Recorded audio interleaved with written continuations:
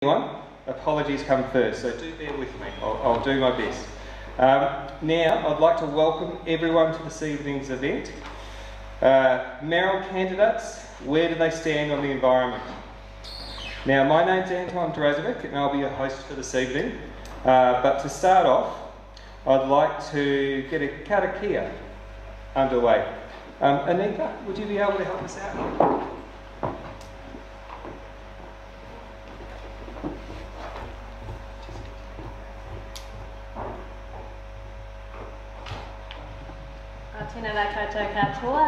Hui hui mai nei tēnei pua, tēnei tēnei kia koutou um, nā hapore o Wakatū, kia koutou anō nā rangatira o te kaunihia, tēnei tēnei. Um, te kaupapa o te rānei, um, uh, te tiaki o, o nā tāne o Wakatū, um, he karake tīmatanga. Tērā nārama ka mahuti te pai, te whakatāhune, te ngaro, te whakaaio i te whenua, a pōhiti, a whanaki, a rākau nui, Tai aho aho tia tohu ara i te pō. Kia ora koutou.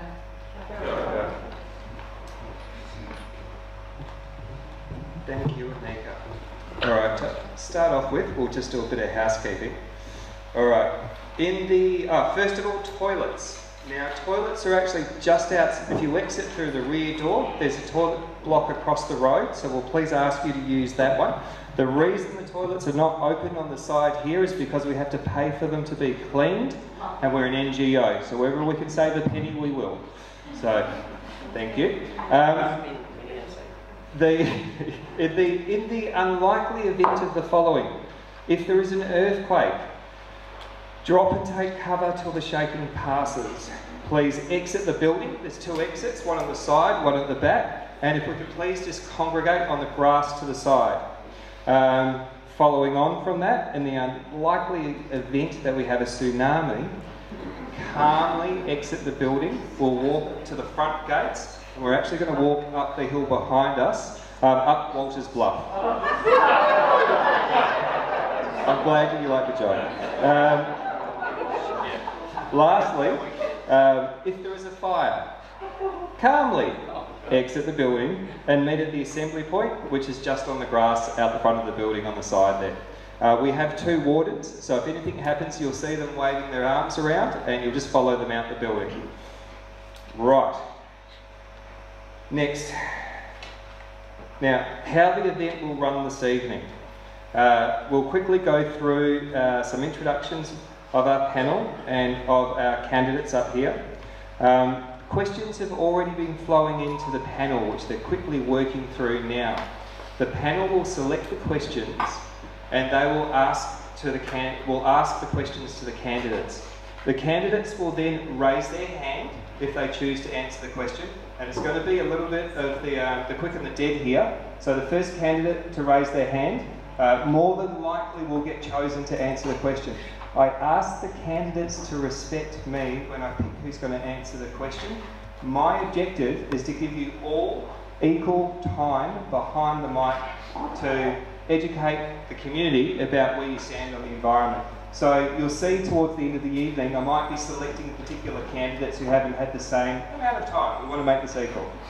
Um, there will be... A... Uh, can you talk into the mic? When you turn your head to one side, we can't hear you. Oh, sorry, sir. Can you hear me okay now? Yeah, yeah. I, I, I did say at the beginning I am not a professional. So I, I, I all right, all right, there we go. I do apologise, thank you, sir. All right, okay, so, so around seven o'clock we will break and have an intermission. Uh, there's beverages, tea, coffee, etc. Um, it's an opportunity to have, for you to write some more questions. As you write them out, put them on the desk at the back and our team will ferry them up to the panel and they will select them as they come in. Um, there's also an opportunity to have a chat to any of the candidates as well, should you wish. Also, if the candidates, it's an opportunity for you to mingle with the, with the, the community as well. Um, at around 7.15, we'll call it quickly. We'll get the candidates back up there to, have, to continue the Q&A session. Alrighty. Now, I've done that and that. Let me start off by introducing our panel. So, Debs Martin. Debs works for the Nature Conservancy as Program Manager of the KMTT Alliance, which is a conservation governance group for the top of the south, including DOC, iwi, and councils. Prior to this, for 17 years, Debs was top of the south manager for Forest and Bird. Uh, Debs has been awarded a Queen's Service Medal for service to and for conservation. Thank you, Debs. Um, next on the panel. Um, next, I'd like to thank Anika Young. Anika works for Ngāti Rarua, if I said that correctly, in the environmental team. She is an environmental scientist at the Cawthron Institute. Um, she sits on a range of governance boards, Marais, DOC, Project Janszoon, and for local iwi. Thank you. Uh, next, we have David Eyre. David is coordinator of the science group and a member of the leadership group of the Nelson Tasman Climate Forum. Uh, David has been a, Nelsonian since 1985. His professional background um, is in science, IT, and education. Thank you for joining us, David. Lastly, I'd like to welcome Nate Wilborn. Nate is 14 years of age, goes to Garin College.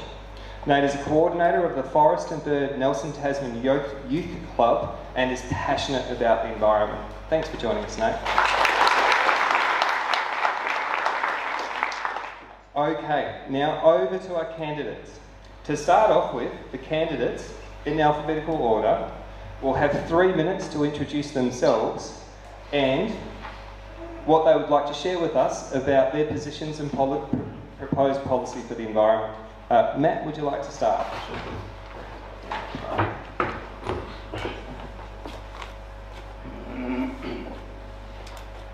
I on? I'm not on. Just flick the switch on the microphone, we might forgot to turn it on.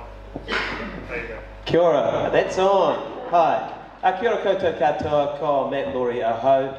I'm Nelson City Councillor Matt Lawrey. I'm a third term Nelson City Councillor. I'm very pleased to be here. Thank you to all of you for being here. It is great to see people taking an interest in this election. So, very quickly, I want to tell you a story. About 17 years ago, and I say 17 years ago because our eldest son is 16, I played football on Victory Square one Wednesday night. I was training. And it was cold and it was dark and the air was thick. It was kind of soupy. It was kind of Dickensian. And I went home to where we were renting up here in Ewa Road. I got in the shower and I started coughing.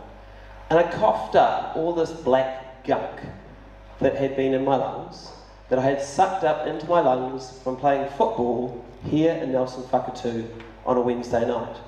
And the reason is because in winter we had some of the worst air quality in an urban area in Aotearoa, New Zealand. It was horrible. And we'd been that way for a long time.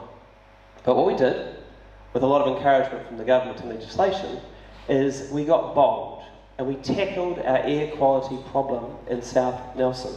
And now the air is massively improved. And I tell you this story because it is so important that we remember that as human beings, we have some power. We can actually change things. We can protect our environment. We can actually reverse damage that we have done to our environment. I think it's very important we remember these things because it can be overwhelming. And when you look at the impact of climate change on our city over the last three weeks, it's easy to get despondent, but we've got to remember the positive stories and we have to remember our power. And then we have to have a list of things that we need to do.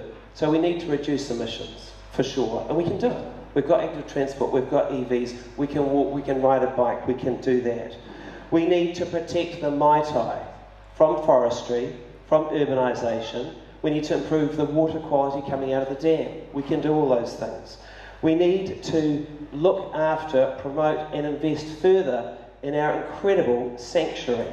The sanctuary is one of the gems in the city, and it is going from strength to strength. It can just get better and better. So we have the power to do that. And we have to do something about cats.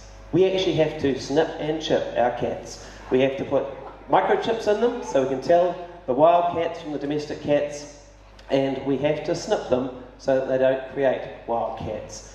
These are all things that we have the power to do, and if you elect me mayor, I will work very hard to make them all happen. Thank you.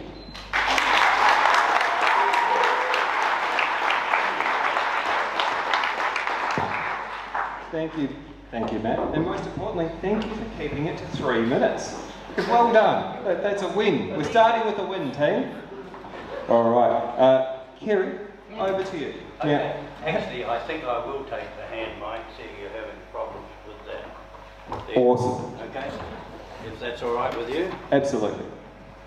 Just, if you just pull it out, yeah. Okay, folks.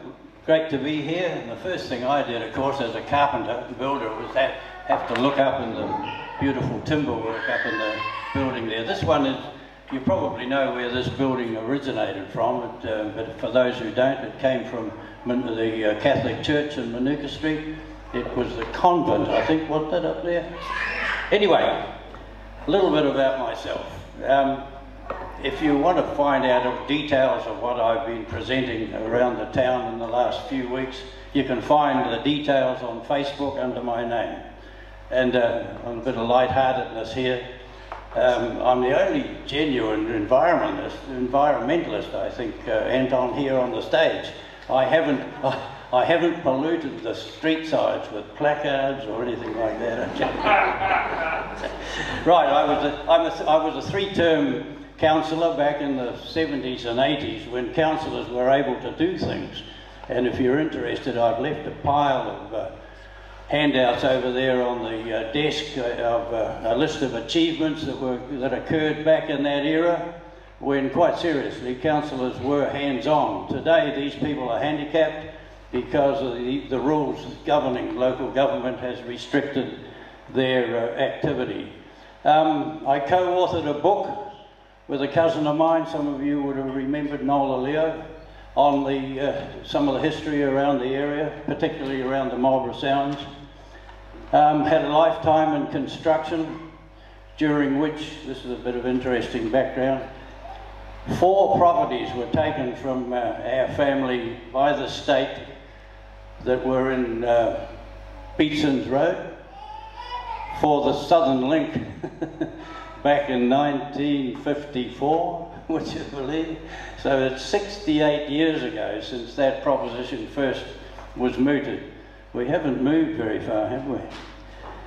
Um, I've got a new thriving um, um, swan plant at home, which is attract monarchs, and I've discovered that uh, dishwashing liquid and a bit of uh, water gets rid of the aphids very well. So, uh, so have a go at that if, you, if you're interested. I've also discovered a, a childhood uh, um, um, thing I wanted to, uh, dream of uh, playing down on the river now that I'm living by the Maitai, but quite seriously, thank you, I'm a little concerned about the eels eating the baby ducks. So there's a bit of conflict going on there. And um, finally, I'd like to say that I think it would be nice if the schools or the churches could get involved in welcoming the Godwits to Nelson every year. I'm sure, I'm sure that that would take on quite well, as it does in other parts of the world. Thank you, Anton. Thank you, Kerry. And that's two for two. So I really appreciate keeping to time. Rohan, would you like to speak to the oh, community?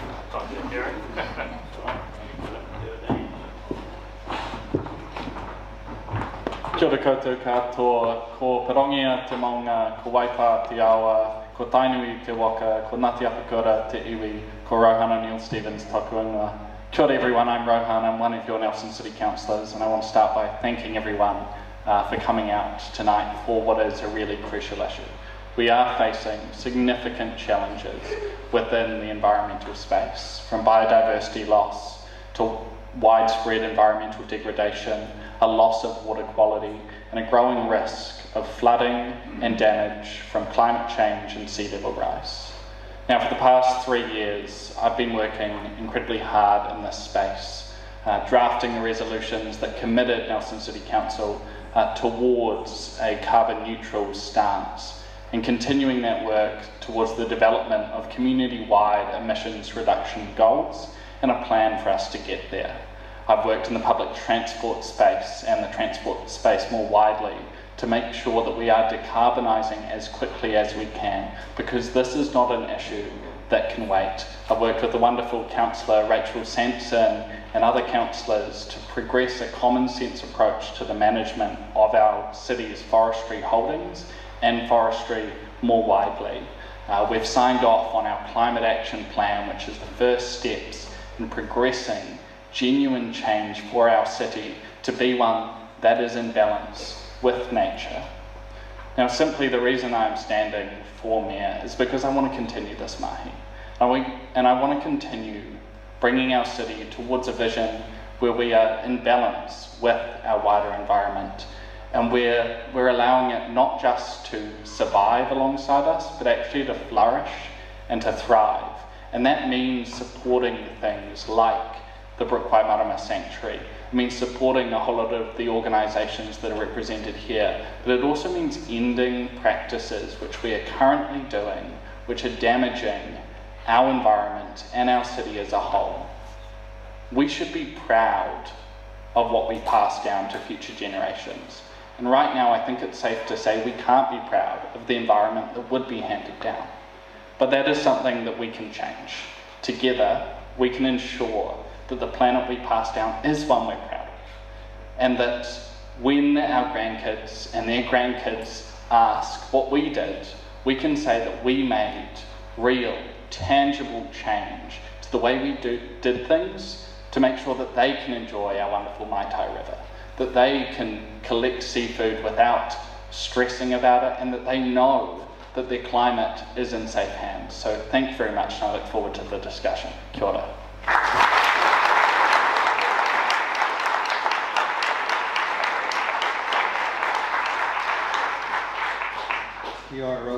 Thank you very much for that. Richard. Thanks very much, Anton. Thank you for organising this, you guys, and thanks very much for coming. That's the second best audience I've seen so far. My name is Richard Osmaston, and I'm running for six mayoralties in the top of the South Island. The reason I'm doing that is because I think we need to up our game a bit. These are great people. I've seen great people from Hokitika to Greymouth to Tasman. They're fantastic. They work flat out. You won't get better people. Frankly, it doesn't make much difference. These people, they've got a long history of experience. They are marionettes. They are puppets to capitalism. And they have overseen the destruction of this fabulous country. It's not their fault. The system is completely broken. It's completely corrupt. I'm proposing that we abandon the monetary system entirely if we want to survive. There is what's called a resource-based economy where everything is free and everything is voluntary. That is pivotal. Everything is voluntary, and in a voluntary society, nobody can control you from outside, from City Hall, from Wellington, from America, from London. No. We control what we do. We will get what we want. Right now, it all comes from somewhere else, doesn't it? And it ain't working. And we can shift the chairs around on the deck of the Titanic, and it ain't good enough. Ask a 12 year old. It's not even that hard. My previous career, I, I first stood for Nelson in 2013, by the way, with exactly this topic. And I've just watched the whole thing go to crap. In my previous career as an airline pilot and as a licensed aircraft engineer, in that environment, we have systems that have integrity. And right now, there's a million people airborne in airliners, and they're safer than we are in this hall here. Because of the systems, the systems we are capable of producing, systems that have integrity. This system does not have integrity. It relies upon exploitation, consumption, growth, hierarchy, and it ain't working. And the results are there for us all to see. If we want to fix climate, if we want to take care of our environment, then we have to change to a system that supports positivity and not consumption, exploitation, and misery, which is what we see. And we could do so much better. Thank you.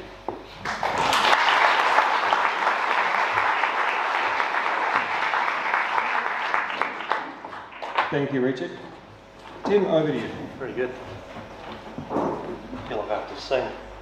Hey, welcome everyone. I see some good faces out there, people I know, and uh, I commend the candidates we have here standing for mayor. I've been watching some of the uh, elections going on around the country, and I reckon this is the best looking bunch in the country. Hey, many of you already know me. I've always stood very clear on my principles. I've always been very consistent and dependable on my voting. I've never stood on the fence nor abstained from the tough topics. I've been on council for nine years. I've looked after a chair of, of several committees, and I greatly think this gives the experience to hit the ground running as Mayor for the city and getting this town back up to speed where it should be. Having formed relationships over those nine years, both within council and outside of council, with various organisations, iwi, business groups, and communities. Nelson by, by providing those relationships, I think we've got to look at Nelson as a greater region, both with Tasman and the top of itself, and upon that, we can champion very hard against the government in any of those decisions where I feel they've left out the needs of our diverse community. I continue to make great strides in our sports and recreational facilities and needs. I've picked up this term the reins of our arts, heritage and culture and ensure we've got some great strategies moving forward and I want to take those a lot further.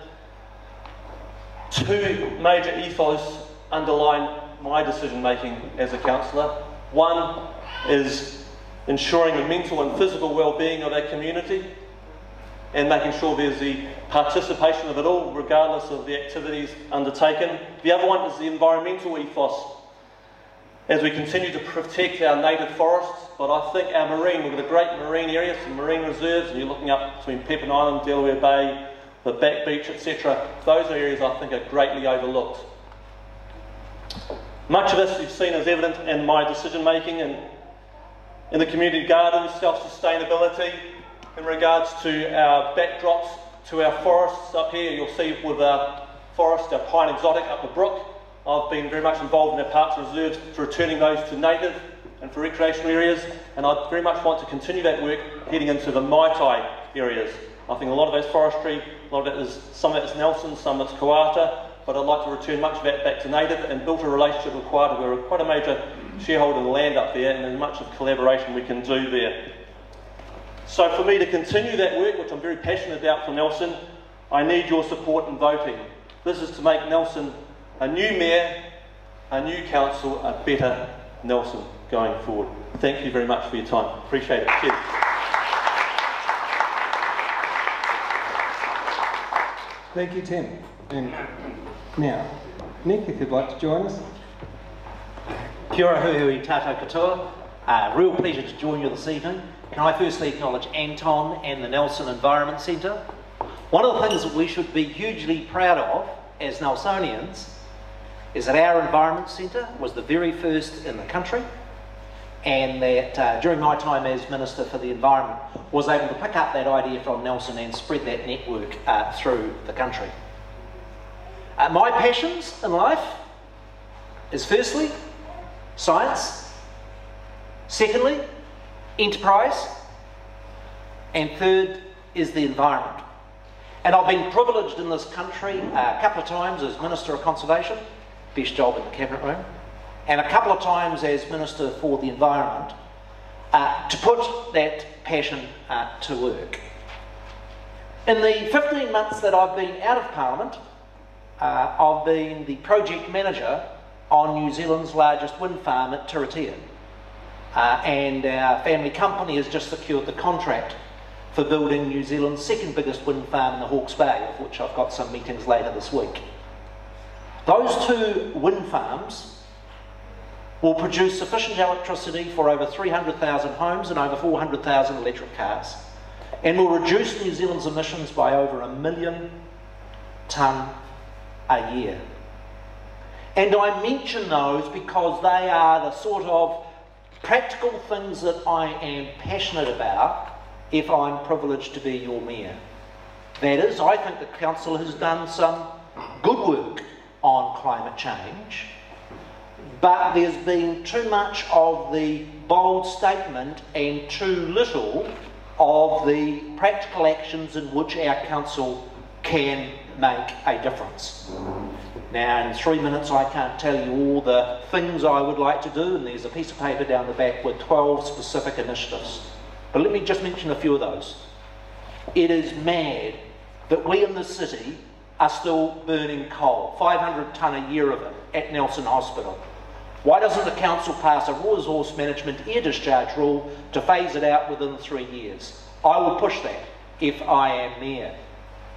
If I am mayor, I want to see us extend the home insulation program and provide the funding to do that. It's a no-brainer to help on all fronts with the trust. On different environmental issues, we have the Brook Sanctuary here and the vision of having Kiwi and Tuatara back in this part of the world is a project that I want to be part of. And the last really big one where is it that Nelson can really shift the dial for New Zealand in the world? I tell you, it's around oceans. And that vision of at our port with the Cawthron Institute, a world leading education, science, and environmental section around the oceans, is one of the things I want to advance if I'm privileged to be your mayor. Thank you for your time.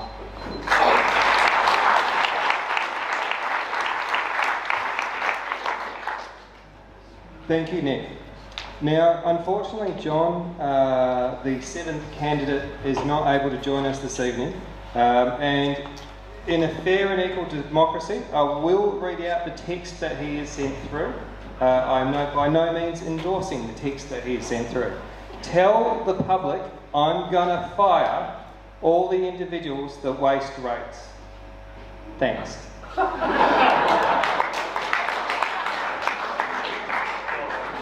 Thank you, John. Uh, are, yes.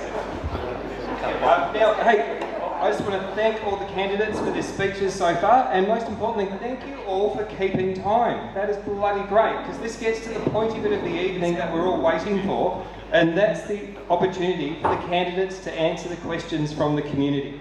Now, I just want to frame, I am not involved with the, the questions at all. The questions are from yourselves, they filtered through the panel of our experts there, and it is the panel that will ask the questions. The candidates will then put up their hand if they'd like to answer it, and then I'll select the candidate to respond to that question. I just want to remind you that you only have two minutes to respond.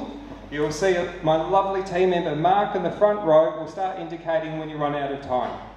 Great. All right, over to you, Debs. Oh, well, kia ora. Um, this is a, a, great opportunity to ask you some very good questions that are coming through from the floor. And I will just say, um, Mr. Chair, that we have a number of questions that have come through to the floor. We probably aren't going to get through all of them tonight. But um, uh, if you do have a question and it's specifically related to one of the candidates, we encourage you to take that opportunity in the break to ask your question directly of them.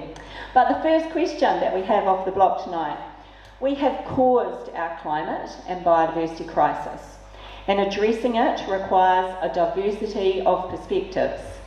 If you are elected mayor, how will you work to create a supportive culture around the council table to ensure that diverse perspectives and fresh ideas are supported? Richard was first up on that one. Matt, I'll give you a chance to jump in after Richard. Richard, please begin. Yeah, thanks. Thanks very much. Yeah, we're all about diversity. Um, of course, you can't just turn things around with one good idea. We have to bring everybody on board. But as we become rapidly aware of the dilemma that we have, I think we're in a much more open framed frame of mind now, and so the natural tendency is actually, provided we don't go into a fear and shut down mode, we are all in a better place to listen to some different ideas. And I think the history of our demise actually proves that. Um, as mayor, I think day-to-day business of the council has to continue as it has. You know, they generally do a very good job actually, but the conversations have to change. And with somebody like myself, I mean, I do accept that my perspective is quite a long way out there, and anything in between my position and the conventional one is very welcome. And I'll leave it there. Thanks. Thank you, Richard. Thank you. So, if, as Mayor, if I'm fortunate enough to be given the role, one of the things that we're working very hard to do is to create a collaborative, respectful, and tolerant culture at Council so that people can actually challenge the status quo without fear of being crushed. And what happened to Rachel Sanson in the last term of council, in my opinion, has actually been a stain on democracy in Nelson Whakatū. I think it is important that we have these hard, decision, uh, hard conversations, and we have to accept that we're not all going to agree with each other about the way forward, but we've got to give people the opportunity to bring new ideas to the table. We have got to respect people when they do that. And I think a culture that does that will help move us forward.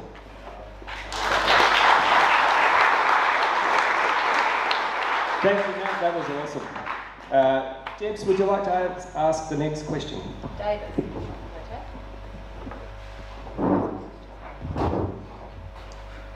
Okay. Significant weather events. We all know what that means. Climate change is increasing the frequency and severity of significant weather events here and everywhere else. What are I'm your going to interrupt priorities? Sorry to interrupt you, David. Could you please speak up, or Ben will help you. So if you please repeat the question from the beginning. Okay. Okay. Climate change is increasing the frequency and severity of significant weather events. We all know what that means recently. What are your priorities for future proofing our region against these? Rohan?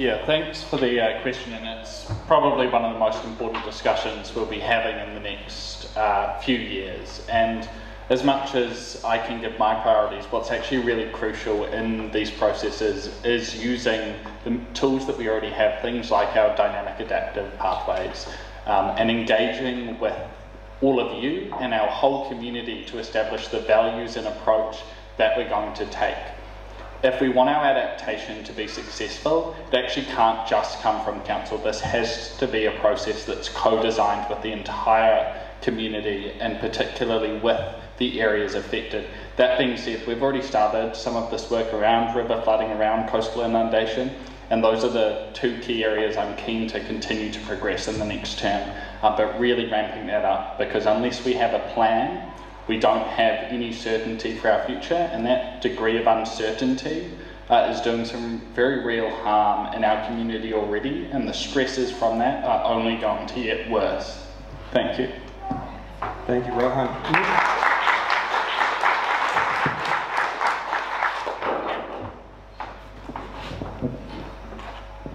I think we need to be very upfront with the community that the scale of the repairs from the August events are likely to be tens of millions of dollars and dominate the work program for our council for about the next 18 months.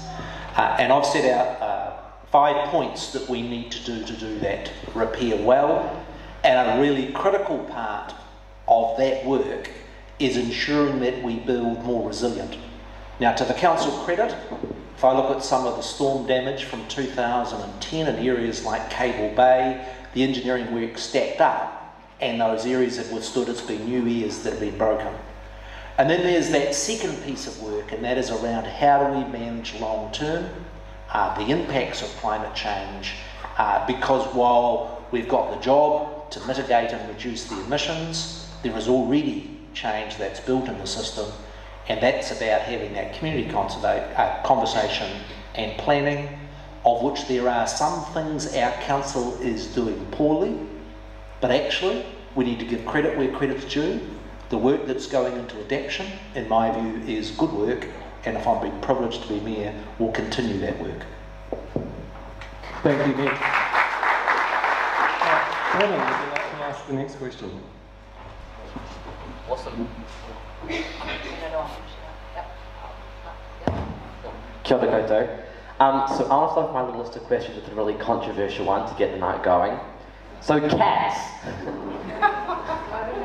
Feral cats are a problem in our reserves, and control of them is made difficult by not being able to distinguish feral cats from people's pet cats. Do you support compulsory microchipping and desexing of cats in Nelson? Yes. I, I have a very passionate Matt here waiting to respond to that question. So, one of the things I'm really proud of from this last term of council is I, with support of um, council colleagues, got it to the point where council officers had to go and do a report on the options for us making chipping and snipping mandatory in Nelson Whakatū. And that work is ongoing, and the next council will be presented, because of the mahi we did, with options for doing just that. And that will be a big step forward because not a lot of councils around the country have had the guts to do it, but we should do it. We should absolutely do it. And I'll tell you something else we should do. We should probably have a little bit of a think about the number of cats that you can have per property. Because at the moment we have no rule. You can have as many cats as you like on your property. And I think that's pretty strange in this day and age. There's a limit on the number of dogs you can have, but not cats. And check it out. You can have as many cats as you want on your property, and your property can be right next to the Brook Waimarama Sanctuary. In my opinion, that's nuts. If I'm mayor, I'll try and change that. Richard, would you like to speak to the same question? Thanks very, thanks very much, Matt. Good, uh, good that Matt Matt's using my kind of language. Nuts. You're damn right, mate. Some 12 year olds, I don't know, some little kids. You know, our world is crumbling around us. And I didn't actually get invited to a previous uh, Nelson mayoral meeting because I wasn't. I wasn't. Imp- I don't know. I wasn't important enough. They only took the more prominent, serious candidates. And I gather the first item was again cats. And I don't know, I, it just doesn't feel like we're on quite the right track when we're arguing about cats, when young people are killing themselves, we have an obesity epidemic, we are bankrupt, our climate is collapsing, our society is collapsing, and we're talking about pets and little bells. I mean, seriously, this is cognitive dissonance writ large, and I will personally have no part of it. Thank you, Richard. Now, panel, would you like to ask your next question? And I am going to warn Kerry and Tim, I'm expecting a hand to go up. Uh, just Oh, right. over to you, Anika. Sit down here where I can hear it. Ko kia ora no koutou. Um, so this partai is uh, with respect to sedimentation, and in particular to Tai-o-Aorere, the Tasman Bay. So the question is, Tasman Bay is already severely degraded due to the smothering effects of sediment carried from the land. How should council deal with sedimentation impacts in our marine environment? You know, I'm going to hand that to Tim Matt. Hey, thank you for that question, and that's been very evident with what's happened over the last few days. And I was, I was saddened to see, especially amongst the Delaware, Delaware Bay was about a half a foot of sediment there. But as I mentioned before, I've gone to great lengths up the, the brook, brick waterway there, and I've taken a lot of passion for that, being one of, was one of the cleanest rivers, creeks in an urban city, and uh, transforming that backdrop. But also the Maitai does need a lot of work. But sedimentation is very evident. Obviously, you couldn't. There was not much you could do with the amount of storm we had just in the last few days. But when you look out at Tasman Bay, the discoloration. I enjoy my fishing, the kayak fishing. You might have seen that article in the uh, Hunting and Fishing magazine the other day. But it does concern me greatly on that. But it's something I think as a, a region that we need to get on top of. Top of the South, it's not something just we as a council. It's partnering with a lot of those other landowners, but a greater region. When you look at the top of the South, it's a beautiful area, and sedimentation, uh, I don't have all the answers, but it is something we've got to really look at. And maybe in regards to stormwater, I think with a lot of our development happening with stormwater, it's filtering out that what flows straight into the creeks. You saw it was gushing out with a huge amount of rain. If we can filter some of that before it hits those creeks and rivers, that's one big step towards that. Uh, but thank you very much. But it also comes down to people's personal properties. Make sure they're nice and secure as well as um, plantations, etc. But the public, to, to, to say that, I think the community have taken on that very well, and we as a council need to step up our game greatly. Thank you.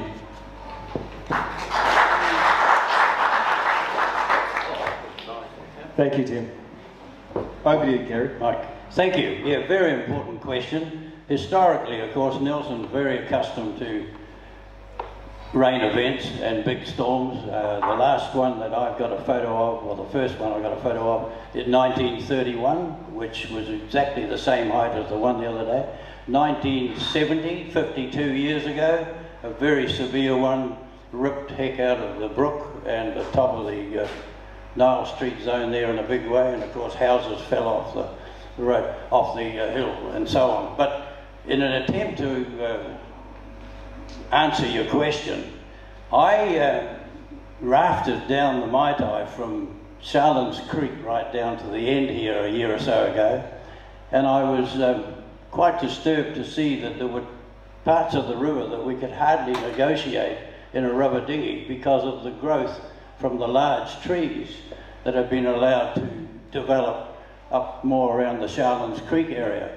So this time, obviously, that rain event occurred and, and, and, uh, and thank you, and uh, grabbed these trees and ripped them out of the bank and threw them down the river and pulled a lot of sediment with it. So I'm not helping you really with the, the, the, the, solution to this problem, but I can tell you that that's, that that's what's happened, that what, that's what happens when we get a big event.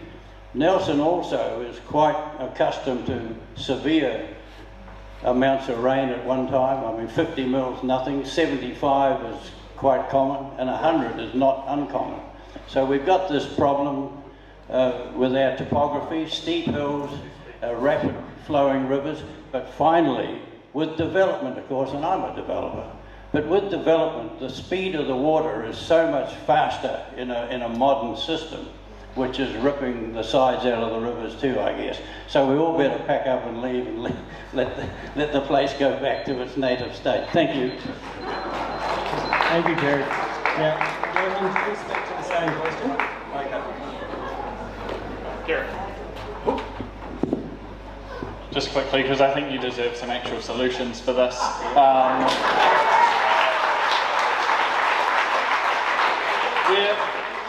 we're not going to, to on our own, um, Tim's right, we're not going to solve the sedimentation issue in Tasman Bay, but we can do our part in it. And that means looking at the riparian margins along our waterways, expanding and enhancing them to reduce the amount of sediment entering them and then ultimately into Tasman Bay. It also means looking at the land use that we're allowing within our catchments, like uh, uniform clear cut or clear fell forestry which is a huge contributor to sediment in all of our estuaries. These are things that we can control, and there are things that we can do, and we need a council and a mayor that is willing to do them. Oh, oh, I've got some passion here. Matt wants to jump in as well. Yeah, well, why not? I was going to say what that guy said, um, but also I need I need you all to know something if you don't know it already. The number one cause of sedimentation in the Maitai Mahitahi River is forestry. And we lose sight of that. And we talk about how it's a taonga, and we, we talk about how we're going to protect it. But council is staying in the clear fell forestry game, and it needs to get out of it. It needs to get out of it to protect the Maitai, it needs to get out of it to protect the Tasman Bay, and it morally, actually, in my opinion, has responsibility to do just that. The other thing we could do is we could actually take some of the impact out of the water that falls on our, our rooftops by having more people having water tanks, taking some of the water off that roof and stopping it from just smashing everything in its path. That's another thing we can do. There's stuff we can do, we should do. Thank you, Matt. Um, uh, Donna, I'm actually going to go to another question from the panel. Yep. Panel, are you prepared for the next one? Yeah, yeah, yeah. That Oh, turned it off. That, that was hot. that was good. In fact, my next question was going to be about forestry, but I'm not too sure that I will. So I'm going to ask something quite different. Um, and, and, I'm asking this, I'm involved with Kotahitanga mō te Taiao Alliance, which is an alliance between Dot Council and iwi. Nelson City Council, of course, is a signatory to that alliance. And so used to working across boundaries. So I'm getting you to think a little bit bigger than Nelson City. Are you for or against the amalgamation of NCC and TDC? And how would this benefit the environment? I just want to say, bloody good question. Uh, Nick, would you like to answer this one? It is my view that the winds of change around local government are the strongest that they have been for about 20 or 30 years. And regardless of your view, what it might be on Three Waters, or the big changes in the RMA, or the future of local government review, uh, my view is that Nelson and Tasman would be wise to get ahead of the pace and not wait for Wellington to do it to us, but actually for us to define the form of local government that is going to serve this community. And when I say this community, I say Nelson and Tasman, because we are uh, effectively an integrated community and what will work for us for the next period. And one of the things that has motivated me after a long career in parliamentary politics is to put my hand up for mayor is having been Minister of Local Government, having been so many other different portfolios, is to apply my skills to get the right form of local government that can serve this community well for the next 25 odd years. And have another 30 years of devastation. Are you Well, kidding? I- Excuse me, no, no, that's not fair. Sorry, I beg your pardon. I'm sorry. And, and, and, and the only other part I'd say with it, there was a previous mayor that sort of tried to force merger on Tasman. It backfired. What we need to do is to have an honest and more inclusive conversation about what is going to work for both Nelson and Tasman if we're going to get the right sort of reform. Thank you. Nick. Now, hey, panelists, Richard, I'm just going to ask that we're going to have hot topics, and I ask that everyone respects each other with equal opportunity to speak. I'll ensure that everyone gets an opportunity to speak. My apologies, Um, thank you. Appreciate that. Now, with that in mind, sorry? We are going to go with that question. Yeah, Kerry, would you like the opportunity to respond to that? Yeah, yeah. That's my understanding. Is that what, is that On, what you- on amalgamation. Yeah. yeah. About 15 years ago, this area had a long discussion about it um, with Tasman. A commission sat in the uh, Richmond area, but our um, determination as an organisation called the Nelson Residents Association at the time determined that as we could go with amalgamation, providing the hinterland is, has a degree of autonomy. As it is, they're pretty toothless out there.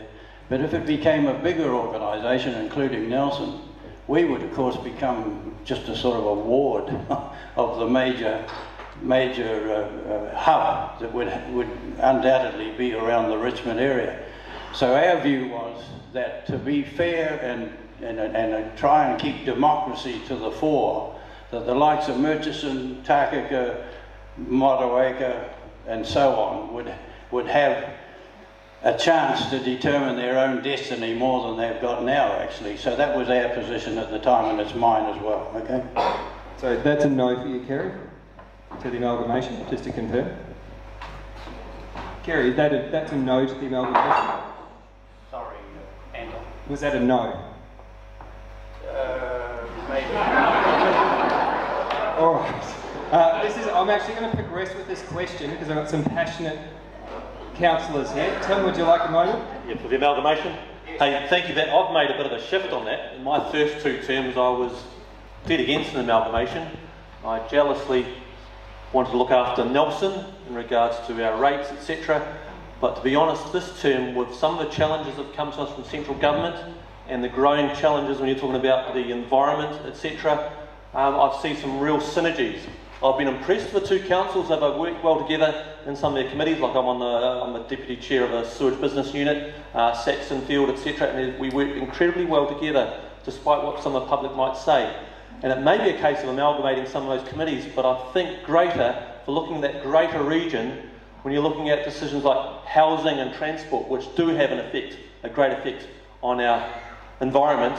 And housing, for example, I know Tasman have come to us a number of times and said, hey, can you please shoulder some of that load. And I know there's some uh, controversial topics coming up on that with, is, is with respects to the Waimea Plains and our productive land, etc. So I think there definitely needs to be an amalgamation of views, etc. there. When it comes to our transport, I tend to think there's also a bit of a disconnect there. But by being amalgamated, not just with Tasman and Nelson on that thinking, but also including Marlborough. I'm not saying we amalgamate the councils with Marlborough, but amalgamate some of those committees and subcommittees. I think there's some real serious gains we can gain with our housing strategies, with our transport strategies, and with our environmental. And that might come down to those plantations, etc. But um, no, thank you for that. But uh, I think it's something that's going to evolve, and I think with a new council, they'll be able to come to that conclusion far stronger. And it will depend, obviously, the council of TDC. But yeah, no, thank you. Great question. Thank but that's an example of a, a shift thank in you. thinking. Yeah. Thank you. Are you. Matt, are you a yes or a no? Oh, yeah. Come on, really quick, really quick. Yes no? So um, I'm actually, I've, I've become a yes too, and we're talking about the environment tonight. And the reason when it comes to the environment is, and I'm going to step a bit over here, just out of Richard's range, the reason, more money. If we are speaking as one district, we have a better chance of getting money out of Wellington for environmental projects, a much better position to be in than what we are doing right now. Two small councils putting our hand up, competing in some ways. If we can speak as one region, we will get more money for the environment out of the government, which has got to be a good thing.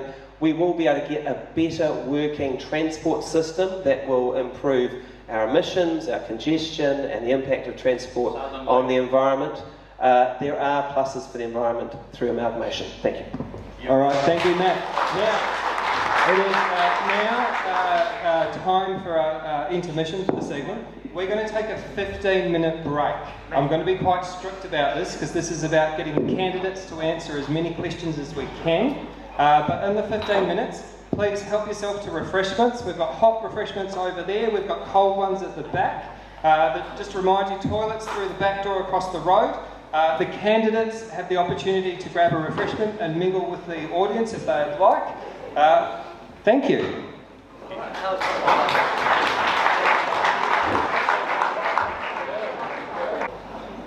All right, thank you, Rohan. Um, I hope you've all got a drink and, and uh, ready for the next round. Now, candidates, I'm going to be a lot more uh, uh, focused this round to keeping you guys on point to answer the questions. So I Oh, no, no, no, we're, we're not criticising, we're just saying we want snappy answers, we want to know where you stand, and uh, the more questions we can get through, the more opportunity you have to convince the members of the audience here to vote for you. So it's in everyone's interest to be short, sharp, and sweet. So I'm going to be a lot more encouraging uh, of you guys to answer the questions as they come out.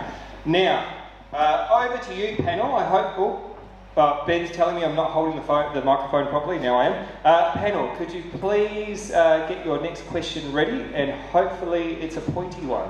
Over to you. Okay.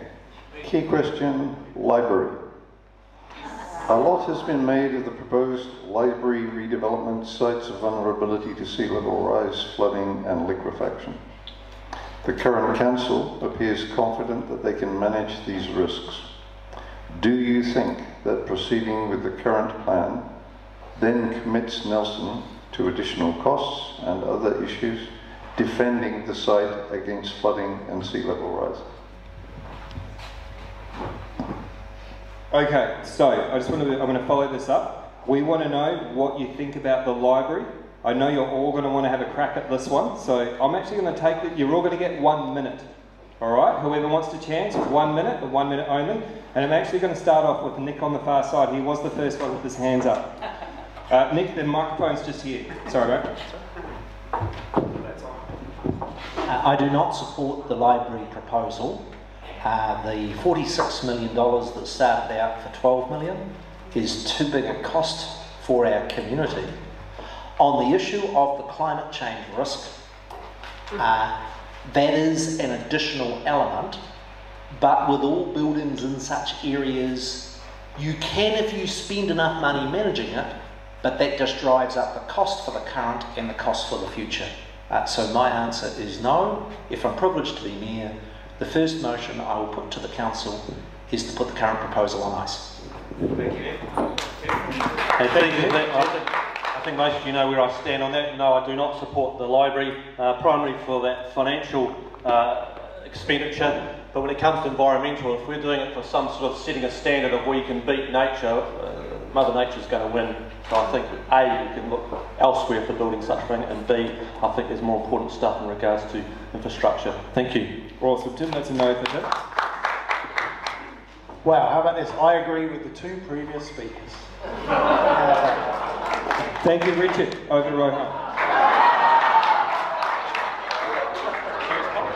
Yeah, look, so I've, I've spoken about the, the concept of civic investment and the cost of the library, but I do want to go into, uh, and you can find those, just search up Rohan Library. Uh, but I want to talk about site vulnerability because that has been something that I've raised throughout this process alongside some other councillors.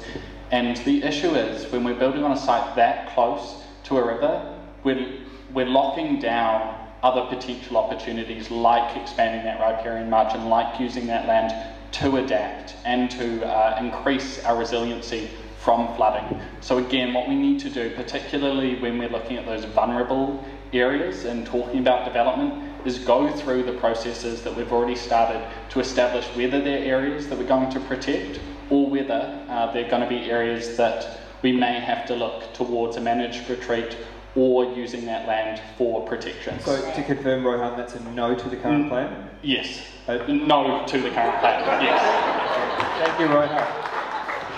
Okay, yeah. If you look on my Facebook page, you'll see that I did a uh, calculation what the actual building will cost on the basis of what we know, and we, we know very little.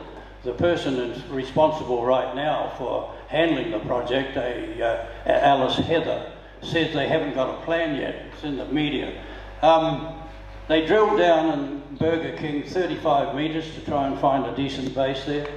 Uh, the City Hall building is 31 metres, so you can see how far down they went. Um, 30 seconds. Uh, yeah, it's a, it's, a, it's a dilemma because uh, do we need a library? Perhaps we do, but we certainly don't need it in that spot. And I'll leave you with this, that the climate emergency policy is corrupt. It's allowing this council to push this or promote this uh, library nonsense at the same time telling 7,000 people to clear out, you've got to go to higher ground. I'm going to say that's a no for Richard. I'm also going to say I'm pro-library. So I just want to be really clear on that one. Uh, Matt. Thank you. So, um, yes to a new library.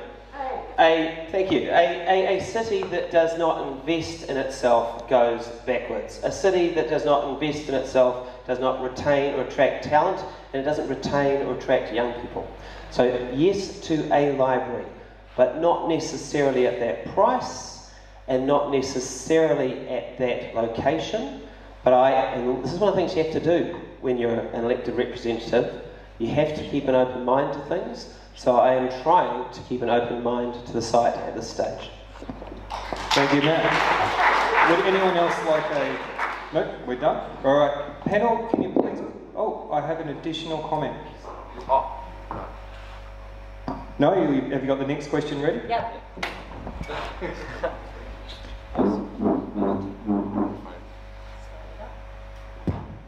There we go. So on um, public transport, a bus service between the airport and the CBD or at Waimea Road with potential stops at places like the hospital. Places like Whangarei, you can catch a bus from the airport to their CBD for only $2 per person, which is easy and affordable. What is stopping Nelson from having such a bus service from the airport? Okay. Thank you. Uh, I'm going to go Rohan, then Matt. Um, any other candidates like to have a crack at this one? No? Absolutely nothing, and we're getting one from the 1st of July next year. Uh, we're getting a complete overhaul to our bus system, including flat fares, increased frequencies, so from before 7am until at least 7pm every 30 minutes there will be a bus. This is one of uh, my proudest achievements in last term on the Regional Transport Committee is we have invested significantly into our public transport system and we know that that is going to massively the number of people using it. Uh, so bring on the 1st of July. Thank you, Rohan. Matt? And we can go further. And what I want to do is make the bus, the N bus, free for children, students, community services card holders, and total mobility card holders. Because you can have a great service, but if you don't develop and grow a culture of public transport use, you won't get the real rewards that can come with it. And we have to do that because we don't have that history here. Young people actually quite like using the bus. If we can get them on the bus all the time, getting all over the city, when they turn into 18 year olds, they won't mind paying for it. Know, it won't cost a lot in the greater scheme of things. It will reduce congestion. It will reduce mums and dads driving their kids all over the show. It's a really good idea. We should do it. Uh, Matthew Perry, I'm going to. I want Nick to answer this question. Nick, do you want to tell us your position on public transport? Who paid? Public transport's clearly part of the answer, and the improvements program for the 1st of July are a good thing. I'm always a little bit sceptical of people who say that things are free, because someone always pays. And what you need to do is to make sure that where you are providing those subsidies, if they are lumped onto the ratepayer, you can hurt some of the very lowest income people in our community. So to So- interrupt you, Nick, are you... So, so in short, I do not think the ratepayer should provide the cost of all of the bus service. More That- broadly that- That's not the question, though. The Yep. question is, are you uh, for increasing bus services here Yes. in Nelson? Yes. Yes. Thank you. That's the question. Thanks. Yep. One brief question. Seeing this is supposed to be a debate, Mr Moderator, to the two gentlemen beside me, I've heard that you're about to determine that the bus terminal will be in, Mill- in Miller's Acre. Is that true? Uh, Kerry, I'm going to interrupt you. It's actually up to the panel down there to ask the questions. So, like everyone else, feel free to write your question on a sheet down the back, and the panel will decide if you'll answer. So I'm going to that one. All right. Hey, panel, have you got the next question? Oh, Tim, did you want to jump in before I throw to the panel? I've got the next question. All right, next question, please. Alrighty. Um, so this question is about community input. And, and just, I suppose, for, for you all, it's important to have input in terms of making decisions for our taiao, for our environment. So, anyway, the question is a lot has been spoken this election about council transparency and increased community involvement. A Te based People's Assembly is a form of participatory democracy that centres all demographics of the community in the decision making process. Similar processes have proven highly successful across the globe. Uh, when mayor, would you support this process and why? Kia ora. I've got Kerry wants to have a crack at this one, then Matt. Great questions. When I was chairman of town planning in this town, we had several big issues. One of them was the ring road and the beautification of the centre of the city and so on. I invited 50 people to come into the uh, auditorium in line with your participatory democracy basis. They were given full voting rights at committee level, and what you see is what you've got, and the community made the decisions. Thank you. So that, that's it, you're for it. For or against? For Oh, yeah, yeah, yeah, yeah. Thank you. Sorry. Matt?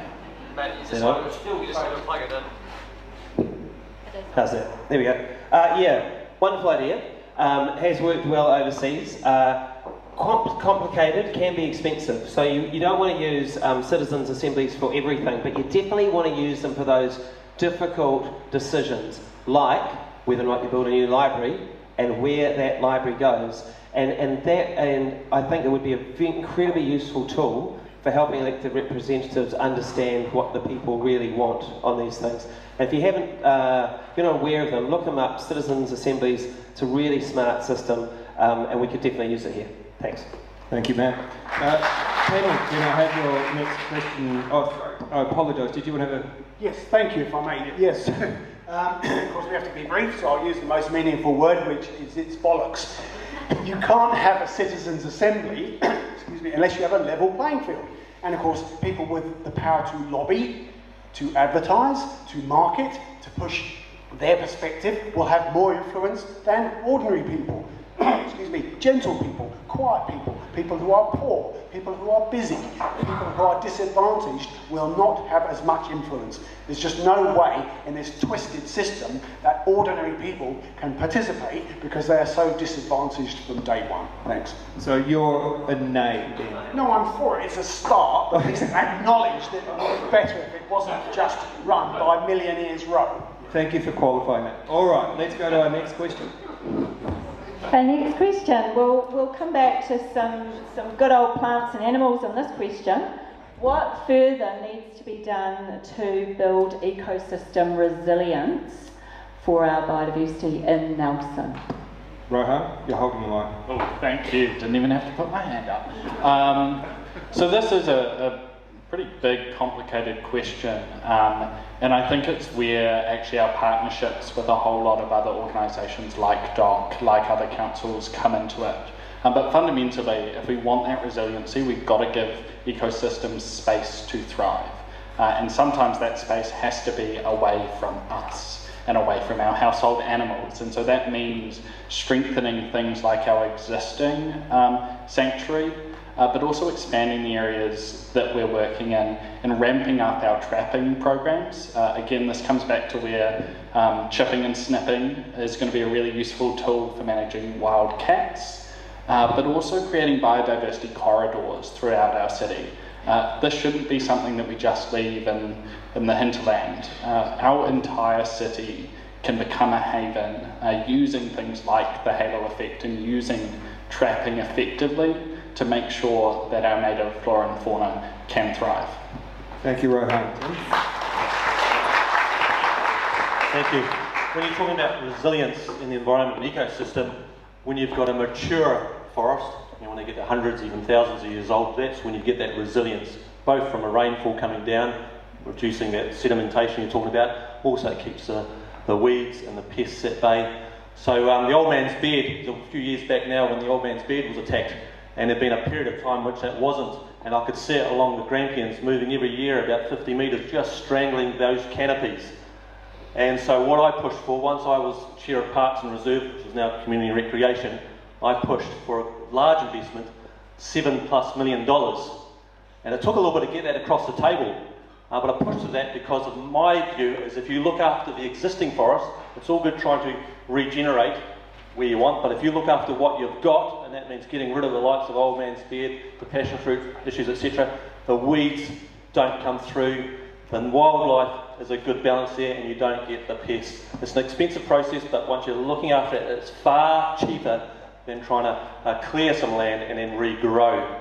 As you know, with the manuka takes a good 20, 50 years, and then you have the, the, the beech trees coming through, and then you have the larger podocarps coming through, which can take hundreds of years. But looking after your tree canopies will keep that ecosystem pretty healthy.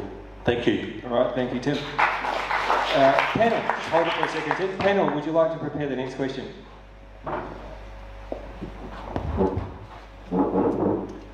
Next question, transport. Transport is the largest source of greenhouse gases in Nelson that the council has the ability to directly influence. How do you propose to decrease transport emissions? Great question, Nick. I am a huge fan of the revolution that is required in what is to power our vehicles. I'm the proud owner of New Zealand's oldest electric car, but the electric car is no good if you're generating the power by burning coal.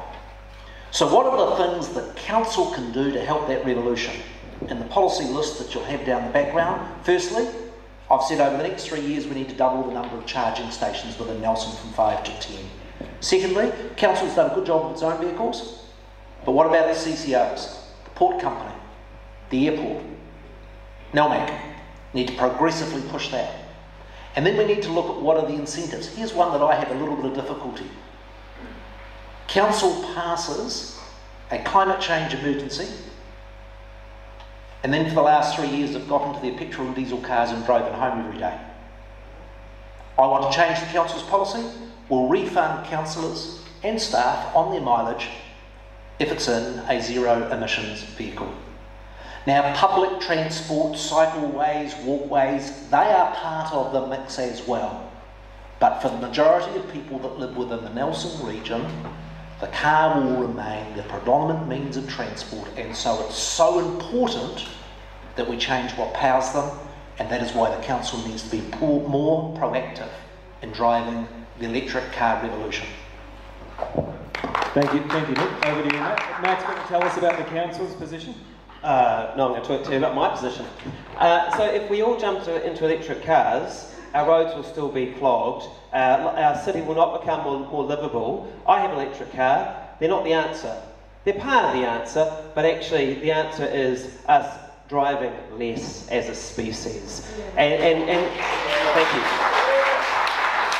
And the way we do that is by giving people realistic alternatives. And that means public transport that works. It means public transport that is faster than sitting it in your possibly EV all by yourself at the same time as everyone else. And that means priority lanes on Waimea Road so that we can actually get people on the bus and they can get into town faster than they can driving a car by themselves. Matt, I don't disagree with the transport suggestion, but what I'm curious to is your position on vehicles owned and operated by the council as well Oh, as so- subsidiaries. So, interesting story. Um, last year, I got a bit uncomfortable with the fact that elected representatives get free parking in Nelson City for as long as they like if they're on council business, but you guys all have to pay.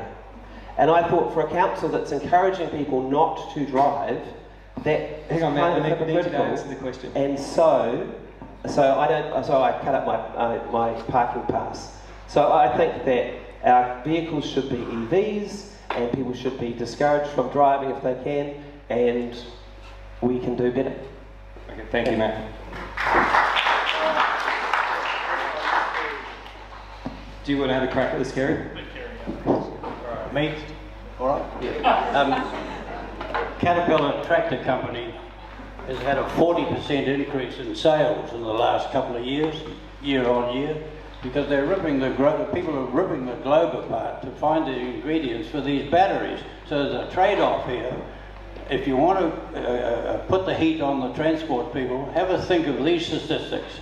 At 180 schools in New Zealand are still burning coal. 150 are burning diesel and 800 are burning LPG. That's where you need to focus the attention. Tell the government, clean that up, and then we can concentrate on the transport people. Kerry, can you answer the Okay. question? Kerry, what's your answer to the question of transitioning the council's vehicles over to an EV fleet and its Well, subsidiaries? um, I'd say technology's got a long way to go yet before I can get too confident that it's the answer.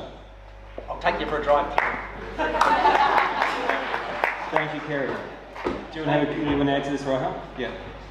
Just a quick, just a quick one. Uh, yes to decarbonising council's fleet, uh, but also yes to systems-based change.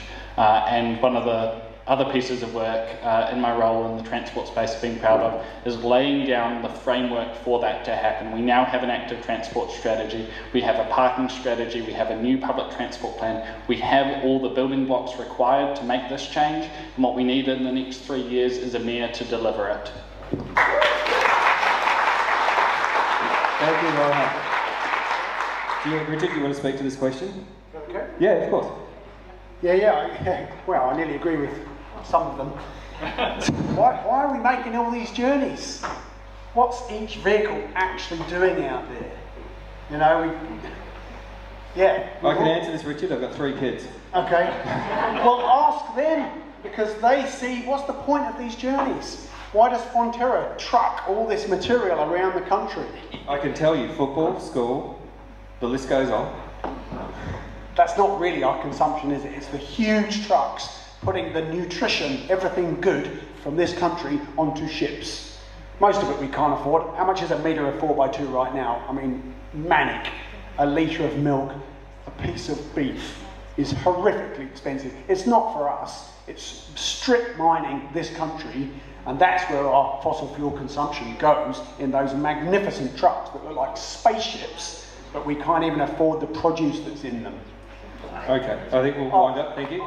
Thank you, Richard. All right. Can the panel ask the next question, please? This is one that I'm quite passionate about actually. Um, so how will you support young slash youth climate activists campaigning for more climate action at local and central government? Did everyone get that? No. How do we support climate youth activism here in New Zealand? Is that fair enough? At, lo- at local government. And at a local government level? Shall I again? Uh, the yes, and then Rohan after you. Okay, these young people, they want integrity, don't they? They want things to make sense. They want like real answers, not our hope for the market, hope for better weather, you know, hope the tourists come back kind of answers. They want real answers. This is the future they're talking about. If we want them to engage with us, then we have to provide an example with genuine integrity. And once we offer them something that does actually tick all the boxes, not just today's popular boxes of cat microchipping and electric cars, then they'll come on board in spades because it's a future worth investing in and they won't be taking their own lives and being depressed and going to counsellors. Thanks. Thank you, Richard. Rohan? Yeah, look, we are incredibly lucky to have a whole bunch of passionate young people getting organised and getting involved to try and make change. The best thing that we as a council can do is listen to them and then start making change. They're not doing it for no reason, they're doing it because they want us to do things. Uh, so it's about sitting down and saying, right, how are we going to massively reduce our emissions in a short amount of time? How are we going to adapt to these challenges? Uh, and working with them to co-design those solutions, and not just with young people, as I said before, working with our whole community. Um, but I say, Nate, keep up the pressure. Uh, because the conversations we're having now are so much further along than what they were three years ago, and what they were six years ago, and what they were nine years ago. So thank you to our young people, not including myself in that, um, for all of their hard work and activism bringing this conversation forward. Would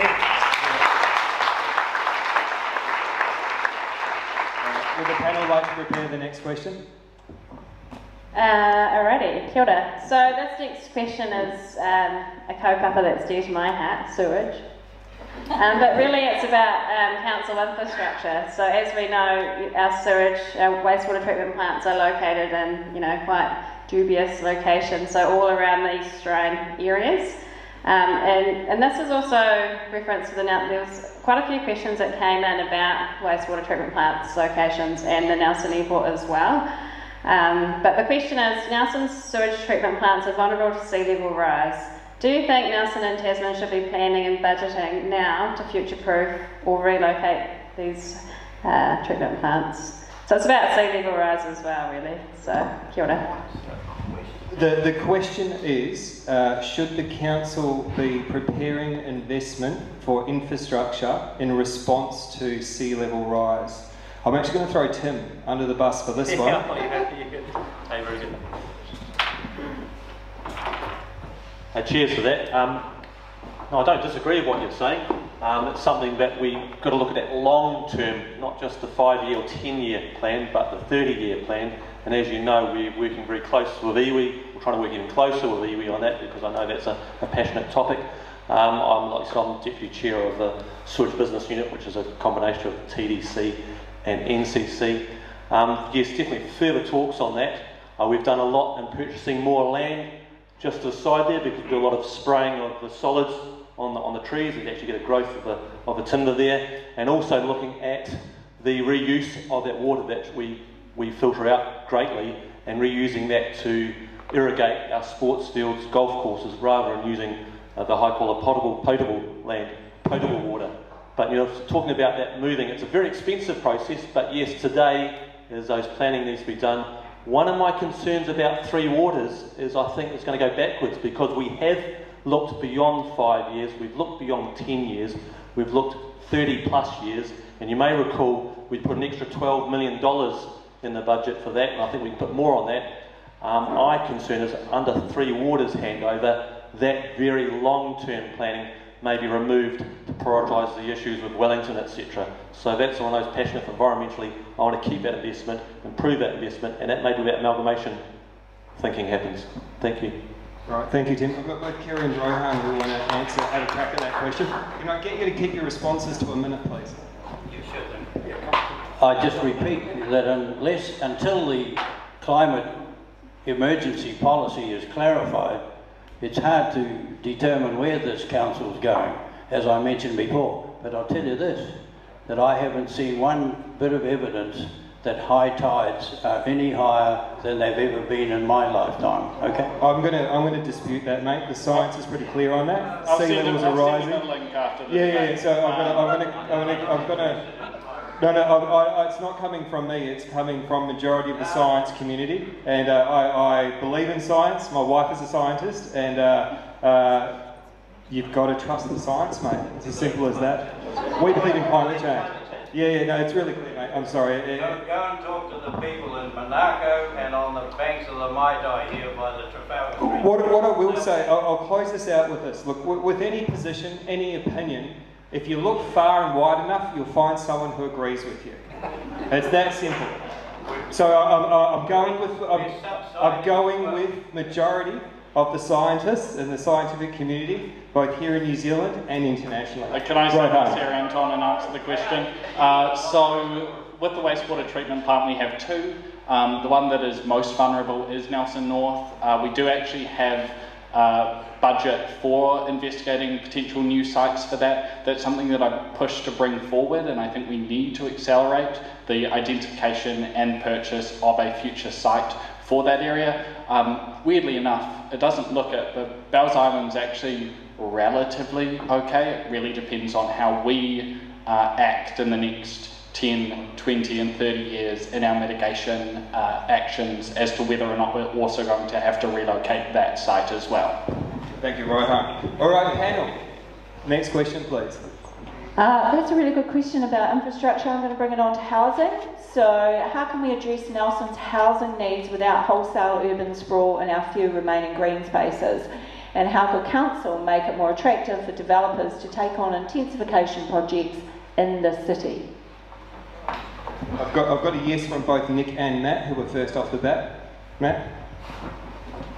So, so we're Nelson City, right? We're going to start looking and acting like a city and less like a sprawling regional town. We need to start going up. And there have been arguments over the last two terms of council about how, how high we should go, but every time we've pushed it a little bit, like on the site of the old organic greengrocers, like we had to go a bit higher than some people were comfortable with, it works. That's the way we need to go. That's the future. And an idea that I've been pushing is that we should look at the airspace above these massive squares that we have in the middle of our city. We have these huge, incredibly valuable slabs of land, and all we do with them is we allow people to store temporarily their private property, cars, for not much money. And that's all we do with them. I'm saying let, pe- let people keep parking on the ground floor, let's look at building in the airspace above. Retain the ground floor for public parking, have warm, dry homes right in the middle of town for Nelsonians in the space above. This idea has got a lot of attention. People like Bill McKay from the um, Auckland University School of Architecture is crazy about it. I really hope that I get, as mayor in the next term, to explore this great idea. Thank, you, Matt. Nick? Could you please pass that? Thank you. I'm going to get you to keep your response to a minute, if that's all right. Nick? Really, really hard to do justice to an issue as complex as housing, urban development, and like in a minute. Uh, my view is actually it is a mix of up, and I'm proud as minister to use my powers to allow the Betts car park development, the Ocean multi-storey development, uh, retirement villages, apartments, townhouses in the mix. Council is only a small part of the mix. Here's the one thing that we've got to do, of which I've been very specific in my commitment. Multi-storey developments in the city is unlikely to result in more affordable housing. We are so fortunate to have the Nelson Tasman Housing Trust. We didn't gain much from selling the uh, pensioner cottages from the council to the government. They didn't house a single person. But we've got 12 million in the tin. We should use it to supercharge our community housing sector.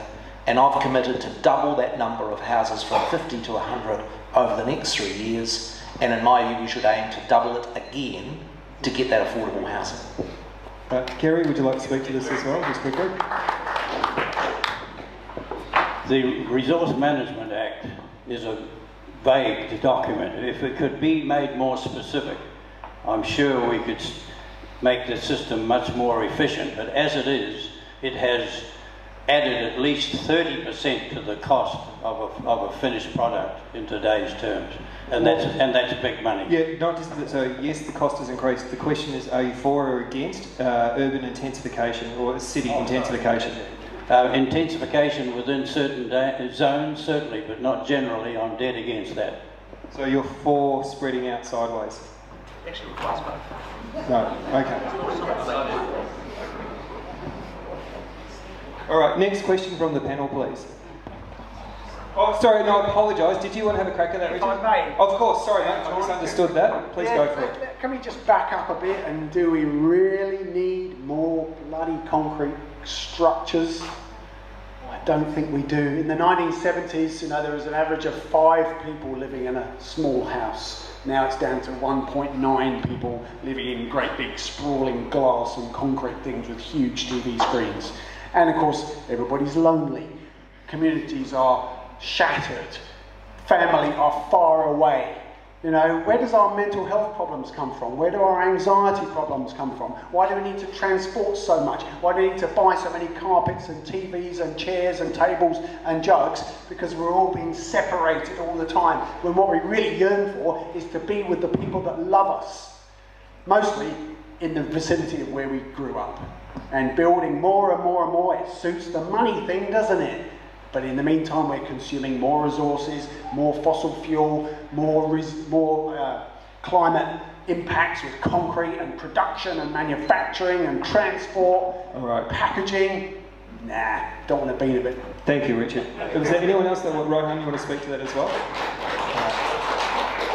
Yeah, I wasn't sure where, whether I was going to agree with Richard when he started, but um, I, I do agree that actually we do need uh, more intensification, and we need, but we do need more homes. We know that as a fact. Um, and what we can do through that intensification is one, we know that if we continue to allow significant greenfield expansion, uh, the economics don't add up for building up. We actually need to limit greenfield expansion if we want to see intensification, but also if we want our city to be affordable. And in terms of rates, the more we sprawl out as a city, the more our infrastructure and transport costs go up, whilst our rating base does not increase at the same rate. So if we want an affordable city, we actually have to be a compact city as well. Yeah, here, here. Uh, now we're, we're approaching, we've got eight more minutes panel. Would you like to pull out your, uh, some of your best questions for the next few? Okay. A clarity question, speed of change and leadership. The United Nations panels on climate change have clearly indicated that in order to keep temperature rises below 1.5 degrees centigrade, we need to reduce emissions by around about 50% between now and 2030. That is a very strong demand and very difficult to achieve. It needs leadership. The question is, in an environment where the council is encouraging change, is its role to lead change or just quietly sit by and somebody else leads it? That is a really good question. I've got a very passionate response here. Um, the so Richard then Matt. Yep. And uh, one minute, guys. We're going to try and smash through some answers and get as much as we can out of the rest of the evening. Yeah, great, que- proper real questions now. This is life or death stuff, isn't it? And it's a massive change, and no little tweaking is going to make massive change, is it? And I think absolutely the position, these government positions, these local authority positions are pivotal in the spear tip of our sentiment, of our vision. You need somebody who's way out in advance, thinking which way are we actually going to guide this thing. And it ain't back there, it's out at the front. Yeah, thanks. Thank you, Richard. Matt. So we actually have to lead, but we also have to get re-elected if we're going to lead. So it's really important how we do it, and I do not believe that terrifying people with stories about climate change works. Human beings, we're wonderful, but we're, we're pretty weird in many ways. We're good at dealing with uh, threats that are right in front of us, saber-toothed tigers, that kind of thing, pretty good. Things that are a little bit down the track, we're hopeless. We're just not wired for it. So I think I think frightening people. I think frightening Richard. people. I'm speaking for myself, Richard. So I think I think trying trying to frighten people into change isn't going to work. You know, and you also get chucked out at the next election. So what you need to do is you need to promote things that make people's lives better, that make the city more livable, and get you climate wins at the same time. That's the way you do it. And a great example is Te Ara Whakatū, the Nelson Spatial Plan, which will enable more people living in town. It will enable better uh, active transport. It will mean more plants and trees growing in our city. That's the way you do it. That's leadership. So lead from the front, Matt. Leading from the front. Leading from the front. All right, Nick. Firstly, if you are going to carry these big arguments over climate change, you need to be open with people about the scale of the challenge and your different roles. If the mayor tells you that they're going to solve the climate change problem in Nelson, they're pulling your leg. If they're telling you that they're doing nothing, they're equally negligent. Be honest about what council can do, what government needs to do, what individuals need to do, what business needs to do, and what we need to do globally. Lastly, lead with practical action and less overblown rhetoric and provide hope, because on which I agree with Matt, is that we keep telling our young people it's all doom and gloom, my view is actually we are doing a disservice. I am an optimist, despite the challenges, that we can get there with effectively community action together. Leading from the front next. Thank you. All right, panel. Yes. Oh yeah, so um, this question is actually quite contentious, and we have actually heard from T- Tim about his perspectives around Three Waters. So, so the question is, are you for or against Three Waters? And if you are, how do you think this would help the environment? Are you for or against Three Waters? Is the question, and how does it relate to the environment? I'll go Nick, then Matt. Yeah, I'm very strongly opposed to Three Waters, either from an economic and engineering or a practical background. From an engineering background, Three Waters will result in confused management of the very events that we've lasted. If there's anything about water, it's that you need to manage it in an integrated way. Having a Wellington outfit being responsible for part of the pipes and the local council responsible for the footpath and the other bits is only going to result in a mess. Secondly, economically, it is particularly bad for Nelson. It effectively has lower income people in Nelson paying for the richest city in the country, Wellington, and having to fix up their problems. Even the Auditor General says that the model proposed has poor accountability and transparency. I'm concerned that our Nelson Council has been one of only three that has supported a reform that is actually not good for Nelson or for water management. Thank you, Nick. Matt? Thanks. So, um, we're a first world country, we should have first world water. You know, our water should be safe. We should uh, know that it's going to be safe uh, across the country, and we should know that it'll be safe for future generations. That's, that's what you should have in a first world country. Now, I applaud the government for actually trying to do something about the state of water in Aotearoa, New Zealand. They haven't done a particularly good job, but at least they're having a go. Now, if we were going to vote on the current model, and it's a big if because this is the thing everyone needs to understand, we don't get to choose about Three Waters. This is being done to us. Okay? But if hypothetically I got to uh, I got to vote on it, I wouldn't vote for this model because we shouldn't be grouped with the North Island. We should be part of a South Island entity. That makes it makes no sense for us to be grouped with Wellington and uh, places like Gisborne. And uh, stormwater, LGNZ agrees, should not be part of it. That should remain locally managed because it affects so much of what council does. So yes for reform, not for the model that's being proposed right now. but I hope they get something that works better because we do need change. Thank you, Matt.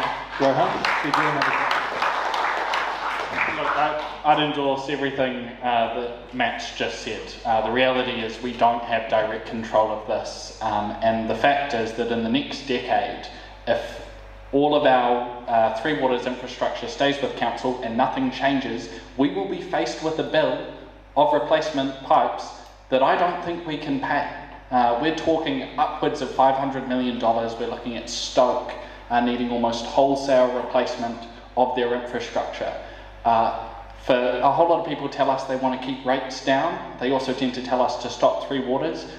I haven't figured out how they've done the maths on that. Uh, but what I am committed to as Mayor is working with the government to try and get this model to something that works. They have been clear that they are committed to seeing it through, and so what we must do now is advocate to get the best outcome for our region, not just needlessly hold up a sort of Winston Peters no sign uh, and hope that it goes away. Thank you, Rohan. Now we've got, I'd like the panel to prepare their last and final question because we've actually just hit 8 pm this evening. I'm very keen to be timely for the audience here. So if the panel would like to take a minute to prepare their best question, or a second, I'm, I'm, I'm trying to be. Uh, a, a second, okay. No, no, they'll, Um, they'll, they'll be right. There is, there is one that we want to go with. Um, I think we're going to go with this one. This is one that's probably a little bit quieter to finish up with, but it's really important for us. So, in terms of everything that goes on in the natural environment, um, planning is one of the most important issues. It's not cool, it's not often sexy, but it's actually really important. So, in December 2021, Nelson City Council decided to pause the release of the Whakamahere Whakatū Nelson Plan. This plan was a combined regional policy statement and resource management plan. It was paused due to the changes that would be required following government reformatting of the RMA, the Climate Adaptation Act, new environmental standards, and the NPSIB as some of those things. If you are elected mayor, how will you, will you prioritise completion of this planning document or how are you going to proceed with the Nelson plan?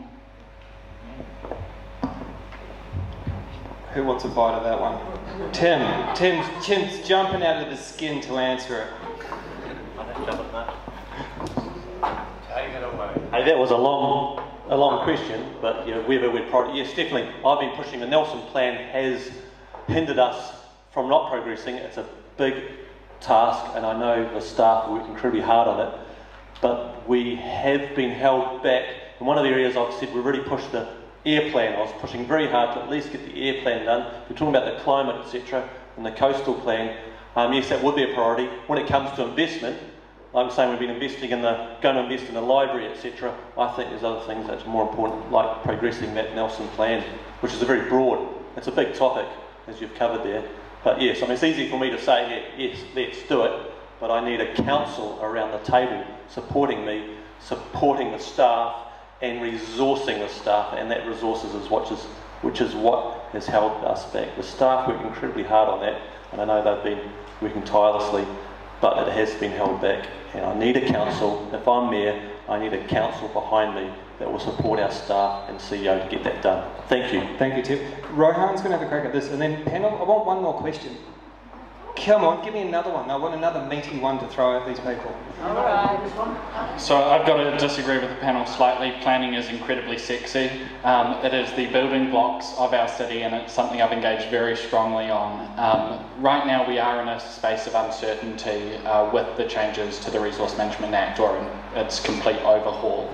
Um, what we are doing is we're progressing a housing plan change that also covers a lot of our natural hazards as well. That's something I'm really keen to push on but also to lead conversations with the government to say, actually, if you want to deliver to your own priorities, you need to give local government certainty for how we're going to get through this. We invested uh, millions of dollars into the Nelson Plan uh, just to be told shortly before notification that we're probably not going to get it done. Um, and that sort of lack of communication between local and central government is where we see a lot of waste and a lot of um, broken trust and broken promises. And so strengthening our relationship with Wellington is going to be a key role of your next mayor and something I'm committed to leading. Thank you, Rohan.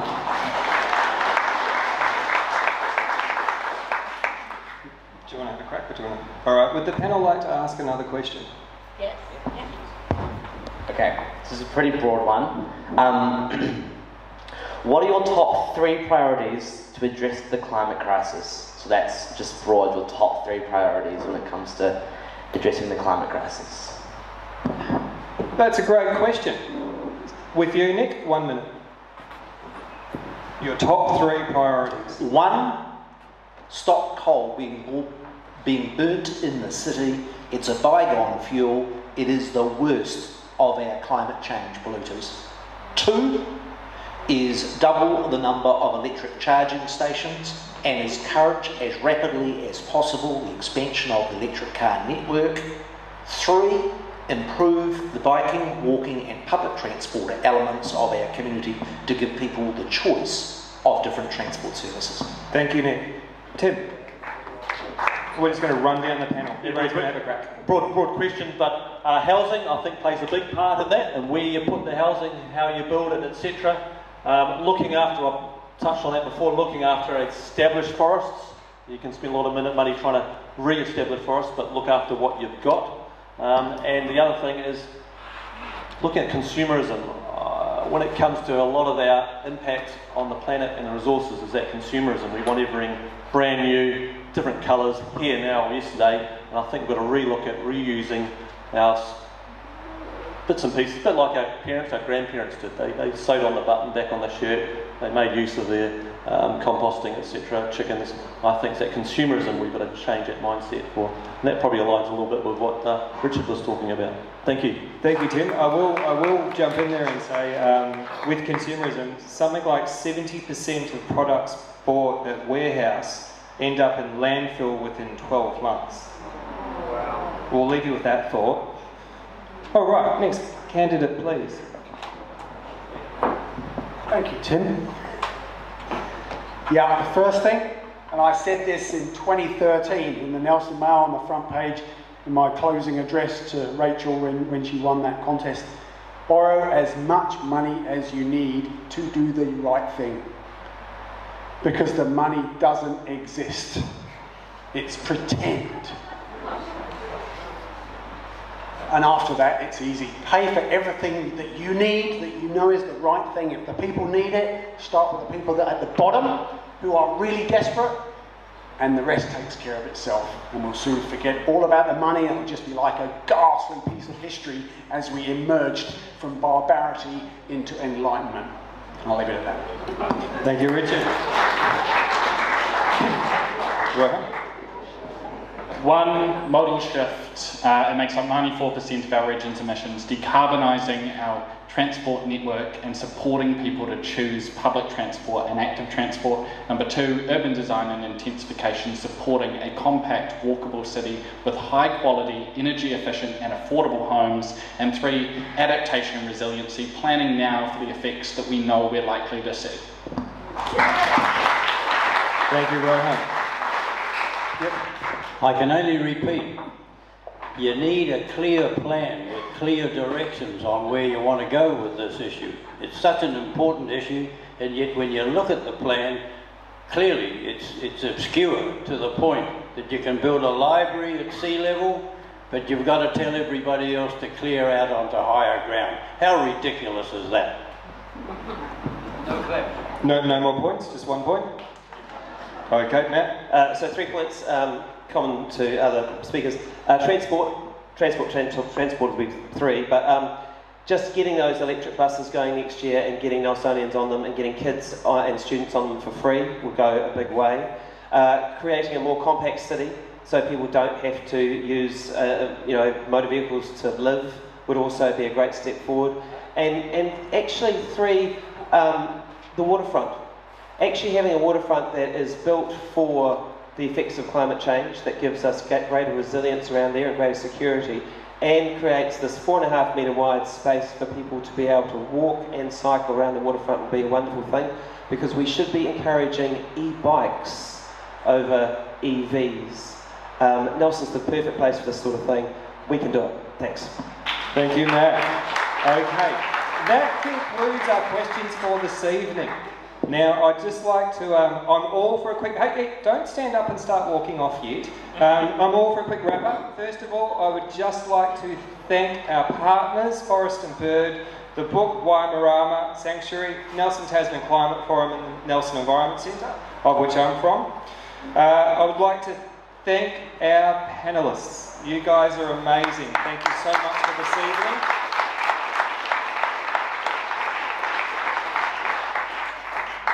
I would like to thank our candidates for all taking the time to come here this evening and answer your questions.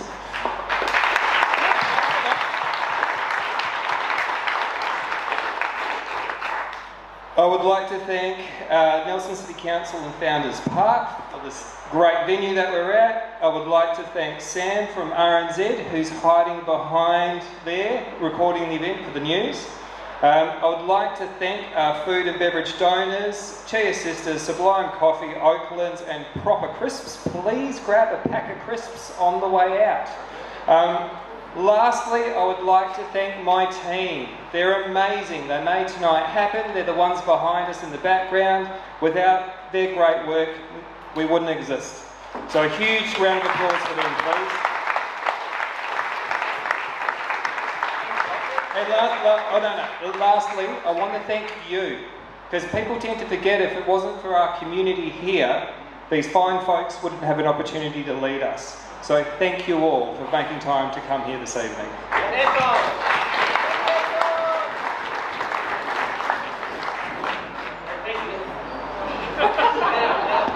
And thank you to Anton. Well, give it up for Anton.